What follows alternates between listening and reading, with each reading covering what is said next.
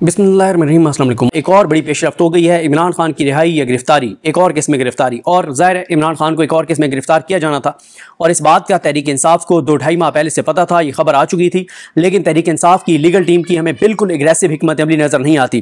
तहरीक इंसाफ को ये बात पाकिस्तान के बच्चे बच्चे को नज़र आ रही है कि इमरान खान को ये निज़ाम इतनी आसानी से बाहर नहीं आने देगा। पूरा पाकिस्तान, पूरी दुनिया में ओवरसीज़ पाकिस्तानी इस बात को जानते हैं कि अगर इमरान खान को बाहर लाना है तो तहरीक इंसाफ को उसके लिए बहुत एग्रेसिव हमत अमली जो है वो इख्तियार करनी पड़ेगी, अपनी आँखें खुली रखनी होंगी, अपने कान खुले रखने होंगे एक्टिव होना होगा और इमरान खान के साथ वफादारी दिखानी होगी। लेकिन मैं हैरान हूँ कि इमरान खान के ये दो ढाई माह हो गए हैं, पता था और अदालत में एक दरखास्त भी डाली गई तहरीक इंसाफ की लीगल टीम की जानब से, लेकिन ना तो उसको उस तरह से परसू किया गया, ना उसके ऊपर कोई एग्रेसिव मदमली नज़र आई, बल्कि पीटीआई के जो एम हैं, वो एक बार भी हमें इमरान खान के केसेस में लाहौर हाईकोर्ट में पेश होते हुए नज़र नहीं आए। तहरीक इंसाफ के एम एन एज हों एम पी एज हों टिकट होल्डर्स हों, वो इमरान खान के मुकदमात में उतनी बड़ी तादाद में नज़र नहीं आते, जिस बड़ी तादाद में उनको नज़र आना चाहिए। क्या इन पीटीआई के M N S M P S ticket holders को लोगों ने वोट इसलिए दिए थे कि जब तुम मुंतब हो जाओ तो जाके अपने M N S M P S hostel में मज़े से रहो अयाशियाँ करो और तुम गाड़ियाँ लो प्रोटोकॉल लो और तुम उसके बाद जो है वो घूमो फिरो। इसलिए तो लोगों ने वोट नहीं दिए थे। लोगों ने इनको वोट दिए थे इमरान खान की रिहाई के लिए, पाकिस्तान के मसाइल कम करने के लिए, महँगाई कम करने के लिए, इन सारी चीज़ों के लिए। लेकिन जिन चीज़ों पर फोकस होना चाहिए, उसके ऊपर पीटीआई का कोई फोकस हमें उस तरह से नज़र नहीं आता। और अब एक नया चीज़ शुरू हो गई है। जो पीटीआई के पुराने रहनुमा है, वो उधर से बयान दाग रहे हैं, इधर से पीटीआई वाले जवाब दे रहे हैं और इमरान खान का मामला तो बहुत पीछे चला गया इमरान खान के ऊपर तो बात ही नहीं हो रही। यूएन ग्रुप यूएन में जो एक रिपोर्ट आई है, उसके ऊपर कोई बात नहीं हो रही। अमरीकी कांग्रेस की करारदाद के ऊपर कोई बात नहीं हो रही, इमरान खान की रिहाई के ऊपर कोई बात नहीं हो रही, इमरान खान के मामले में अदालतों के किरदार पर कोई बात नहीं हो रही। इस्लामाबाद हाईकोर्ट में ढाई तीन माह से इमरान खान के उन नोटिस को पीटीआई की लीगल टीम ने चैलेंज किया हुआ है, जो एक और तोशाखाना केस बनाने के लिए जो है वो दायर किया गया है। और आमिर फारूक साहब दो ढाई माह हो गए उस केस को नहीं लगा रहे, लगाते हैं और उसको डिले कर देते हैं। लेकिन उस पर आपने नहीं देखा कि पीटीआई की लीगल टीम जो है वो पीटीआई के सौ एमएनएस के साथ, दो ढाई सौ टिकट होल्डर के साथ वहाँ पर चली गई हो। नहीं आपने देखा होगा। लाहौर हाईकोर्ट में इस को चैलेंज किया गया, जिस पे आप काबीना ने मंजूरी दे दी पंजाब हुकूमत ने। पंजाब की वफाकी पंजाब की काबीना ने इमरान खान और पीटीआई के हवाले से कोई आपने इसके ऊपर एग्रेसिव पीटीआई की लीगल टीम की या बाहर मौजूद क्यादत का कोई आपने इस पर नहीं देखा। तो अब फिर बात यह है कि जहाँ पर उनकी तारीफ़ बनती है, आप देखते हैं, हम वीडियोज़ में उनकी तारीफ़ करते हैं। जहाँ जहाँ उनकी लीगल टीम का अच्छा काम होता है हम आपके सामने रिपोर्ट करते हैं कि उस वकील ने बहुत अच्छे दलाल दिए उसने बहुत अच्छा अभी उन्होंने दो दरखास्तें डाली इसमें जो मखसूस नशस्तों वाला केस है। एक के पीटीआई को फ्रीक बनाया जाए दूसरा के बल्ले वाली नजरसानी लगाई जाए। हमने उनकी तारीफ़ की ज़बरदस्त उन्होंने कार्ड खेला है। लेकिन बात यह है कि पीटीआई की टीम की ये कोई आ, मतलब ये कोई इम्तिहान का क्वेश्चन पेपर नहीं है कि दस सवाल हैं दस में से कोई भी पाँच आपने हल करने हैं। ये इमरान खान की रिहाई का मामला है ये पाकिस्तान का मामला है। ये पाकिस्तान की 25 करोड़ आवाम का मामला है। यहाँ पे 10 चीज़ें अगर हैं तो 10 की 10 को आपको डिलीवर करना होगा। 10 की 10 पे आपको काम करना होगा। ये नहीं है कि 10 मामला थे और चार में हमने बड़ी अच्छी एक मध्यमली हमने अपनाई है। भाई, आपको ओवरसीज पाकिस्तानी करोड़ों अरब रुपए फंड करते हैं और आपकी अगर लीगल टीम में इतना दमखम नहीं है और आपकी लीगल टीम की में इतनी अकल और शूर नहीं है तो आपके पास करोड़ों अरबों रुपए के आपको ओवरसीज पाकिस्तानी फंड देते हैं। कर लेना प्रोफेशनल वकील। आप पाकिस्तान के सौ बड़े वकील पीटीआई इंगेज कर सकती है। लेकिन मसला क्या है? सौ बड़े वकील इंगेज कर लेंगे तो फिर बाकी की फूफा नहीं चलेगी। देखें, मैं सलमान सफदर साहब हो, ज़बरदस्त केस लड़ते हैं। सलमान खान राजा साहब हो, शानदार केस लड़ते हैं। क्या मतलब मज़ा आता है उनको जब जिस केस में वो दलाल दे रहे होते हैं, और मैं आपको बताऊँ, बहुत सारे केसेस में बहुत सारे केसेस में जो पीटीआई की हिकमत अमली, जो उनको लाइन दी, वो सलमान खान राजा साहब ने दी। वो ज़बरदस्त वकील है, सलमान सौदे साहब प्रोफेशनली वो ज़बरदस्त केस लड़ते हैं और बहुत से। अच्छा यंग में वकला उनकी बात नहीं कर रहा। उनके जो यंग वकला है, ज़ाहिर है इंतज़ार हुसैन पंजोता है नहीं मैदर पंजोता है खालिद चौधरी यंग ये अपने तौर पर बेचारे लगे रहते हैं। आई एल एफ़ वाले हैं। जो उनके सरदार मसरूफ हैं, उनके साथ वो आयशा साहब है, वो सारे, वो सब के सब लगे रहते हैं मतलब सब नज़र आते हैं, लेकिन मसला यह है कि ये जो चीज़ें मैं आपको कह रहा हूँ, अब मैं आपको बताऊँ अच्छा नियाजुल्ला न्याजी साहब भी अपनी उसके मुताबिक चीज़ें करते हैं, जहाँ पेश होते हैं, वो बात करते हैं, मुझे समझ नहीं आती कि दो चीज़ें बहुत बड़ी पीटीआई के हाथ में आई हैं, एक अमरीकी कांग्रेस की करारदाद और दूसरी ये यूएन वाली रिपोर्ट। मुझे बताएँ क्या पीटीआई को कल एक अहम केस होने जा रहा है? कल जो पीटीआई के ये ट्रिब्यूनल वाला मामला, काजी फाइसा ने अपना हम ख्याल, अपनी मर्ज़ी के, अपने ग्रुप के जजों को बिठा के और लाहौर को फैसला कदम करने जा रहे हैं कल। क्या पीटीआई को, ये जो दोनों चीज़ें हैं, अमरीकी करारदाद, कांग्रेस की करारदाद, ये जो यूएन वाली रिपोर्ट है, क्या ये उनको रिकॉर्ड के ऊपर प्लेस नहीं करनी चाहिए? क्या इनको ये दोनों चीज़ें जो हैं वो तेरह रुकनी फुल कोर्ट के सामने नहीं प्रोड्यूस करनी चाहिए? काजी साहब उड़ा देंगे मुस्तरद कर देंगे, नई रिकॉर्ड लाने देंगे, लेकिन एफर्ट तो करें, उसका फ़ायदा ये होगा कि दरखास्त देंगे, शायद दो चार जजेस कहें कि हाँ इनकी दरखास्त एक्सेप्ट करें, इसको रिकॉर्ड पर ले आए बाकी कहेंगे, नहीं लाएँ। तो क्या होगा? जो दो तीन कहेंगे कि इसको रिकॉर्ड पे ले आए, वो कम अज कम अपने ऑर्डर में तो उसको हिस्सा बना देंगे ना? अपने इजाफी नोट में तो हिस्सा बना देंगे कि पीटीआई ने ये चीज़ें हमारे सामने रखी हैं।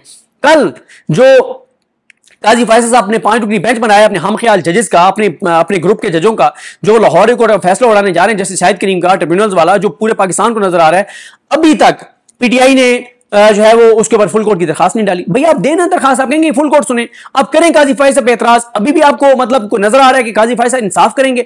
ना इन्होंने काजी फाइज से एतराज़ किया है, ना इन्होंने फुल कोर्ट की दरखास्त डाली है, ना इन्होंने यूएन वाली जो रिपोर्ट है वो रिकॉर्ड पे सुप्रीम कोर्ट में लाने के लिए दरखास्त दी है, ना इन्होंने अमरीकी कांग्रेस वाली रिपोर्ट रिकॉर्ड पर लाने के लिए दरखास्त दी है।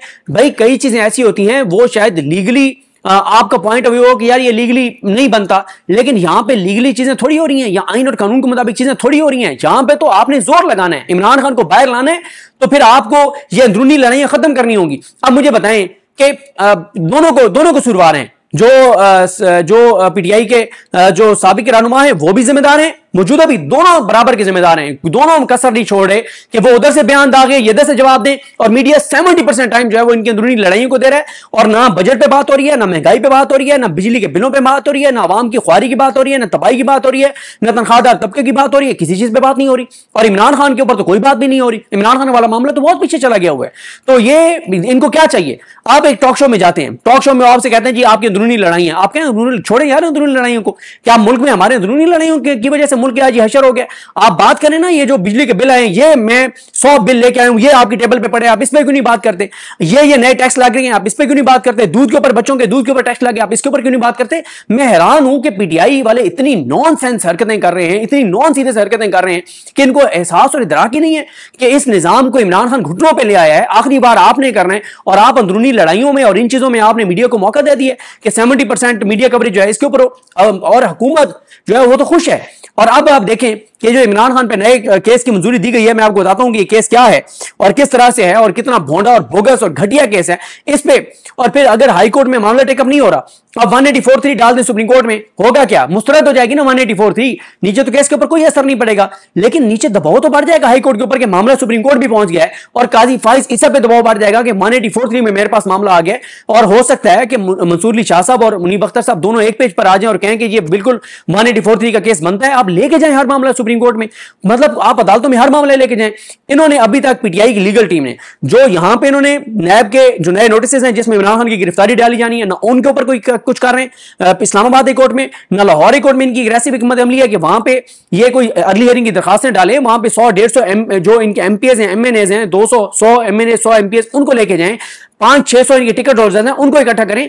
जब तक अग्रेसिव हिकमत अमली पीटीआई नहीं अपनाएगी, इमरान खान दो साल भी बाहर नहीं आएगा। इमरान खान अब ये अभी आठ जुलाई को फैसला आने, इद्दत वाला।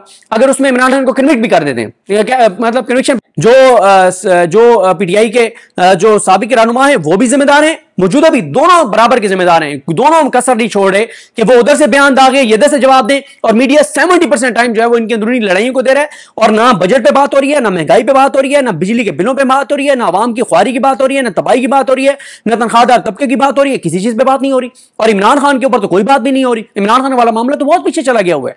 तो ये इनको क्या चाहिए? आप एक टॉक शो में जाते हैं। टॉक शो में आपसे कहते हैं जी आपकी अंदरूनी लड़ाई है। आप कहें छोड़े यार अंदरूनी लड़ाइयों को। क्या मुल्क में हमारे अंदरूनी लड़ाइयों की वजह से मुल्क आज हशर हो गया? आप बात करें ना, ये जो बिजली के बिल आए ये मैं सौ बिल लेके आया हूँ, ये आपकी टेबल पे पड़े आप इस पर क्यों नहीं बात करते? ये ये नए टैक्स लग रहे हैं, आप इस पर क्यों नहीं बात करते? दूध के ऊपर, बच्चों के दूध के ऊपर टैक्स लगे आप इसके ऊपर क्यों नहीं बात करते? मैं हैरान हूँ कि पीटीआई वाले इतनी नॉन सेंस हरकतें कर रहे हैं, इतनी नॉन सीरियस हरकतें कर रहे हैं कि इनको एहसास और इधराक ही नहीं है कि इस निज़ाम को इमरान खान घुटनों पर ले आया है। आखिरी बार आपने करना है और आप अंदरूनी लड़ाइयों में और इन चीज़ों में आपने मीडिया को मौका दे दिया कि सेवेंटी परसेंट मीडिया कवरेज जो है इसके ऊपर और हुकूमत जो है वो तो खुश है। और अब आप देखें कि जो इमरान खान पे नए केस की मंजूरी दी गई है, मैं आपको बताता हूँ कि ये केस क्या है और किस तरह से है और कितना भोंडा और बोगस और घटिया केस है इस पे। और फिर अगर हाई कोर्ट में मामला टेकअप नहीं हो रहा, अब वन एटी फोर थ्री डाल दें सुप्रीम कोर्ट में, होगा क्या? मुस्तरद हो जाएगी ना वन एटी फोर थ्री। नीचे तो केस के ऊपर कोई असर नहीं पड़ेगा, लेकिन नीचे दबाव तो बढ़ जाएगा हाईकोर्ट के ऊपर मामला सुप्रीम कोर्ट भी पहुँच गया है और काजी फाइज इस पे दबाव बढ़ जाएगा कि वन एटी फोर थ्री में मेरे पास मामला आ गया और हो सकता है कि मंसूर शाह साहब और मुनीब अख्तर साहब दोनों एक पेज पर आ जाए और कहें कि ये बिल्कुल वन एटी फोर थ्री का केस बनता है। आप लेके जाएँ हर मामला सुप्रीम कोर्ट में। मतलब आप अदालतों में हर मामला लेके जाएँ। इन्होंने अभी तक पीटीआई की लीगल टीम ने, जो यहाँ पे इन्होंने नैब के जो नए नोटिस हैं, जिसमें इमरान खान की गिरफ्तारी डाली जानी है, ना उनके ऊपर कोई कुछ कर रहे हैं। इस्लामाबाद कोर्ट में, ना लाहौर कोर्ट में इनकी अग्रेसिव हिकमत अमली है कि वहाँ पे ये कोई अर्ली हियरिंग की दरखास्तें डाले। वहाँ पे सौ डेढ़ सौ जो इनके एमपीएस हैं एमएनएज हैं, दो सौ सौ एमएनए सौ एमपीएस उनको लेके जाएँ। पाँच छह सौ टिकट होल्डर्स हैं, उनको इकट्ठा करें। जब तक अग्रेसिव हिकमत अमली पीटीआई नहीं अपनाएगी, इमरान खान दो साल भी बाहर नहीं आएगा। इमरान खान अब, ये अभी आठ जुलाई को फैसला आने इद्दत वाला। अगर उसमें इमरान खान को कन्विक्ट भी कर देते हैं क्या मतलब कन्विक्शन